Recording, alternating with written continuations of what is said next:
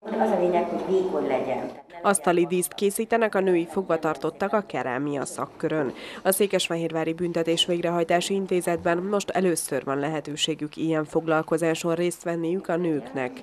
Néhány hónappal ezelőttig ugyanis kevés női fogvatartott volt ebben a börtönben, ezért nem szerveztek számukra programokat. Egy vagy három. Jó, jó. Varga Krisztina Hermina már 25. hónapját tölti előzetes letartóztatásban. Azt mondja, nagyon szereti ezeket a foglalkozásokat, mert ilyenkor egy kicsit kimozdul a hétköznapi sivárságból.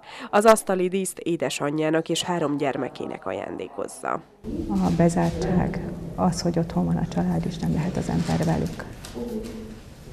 Nekem a gyerekeimtől, hogy el vagyok válaszolva a legnehezebb az egészben de mivel hogy hála a jó Istennek itt a BV-ben nagyon tényleg normális a felügyelet, könyv, odafigyelnek ránk. A Székesfehérvári börtönben meghatározott időpontokban edzeni és könyvtárba is járhatnak a fogvatartottak.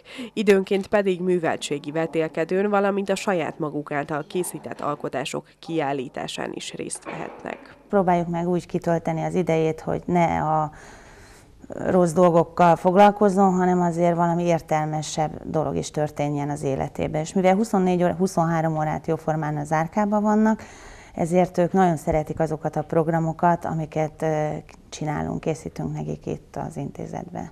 A Székesfehérvári Büntetés Végrehajtási Intézetben jelenleg 13 női fogvatartott, és nagyjából 200 férfi él. Az országos átlaghoz hasonlóan tehát túl zsúfolt ez a börtön is.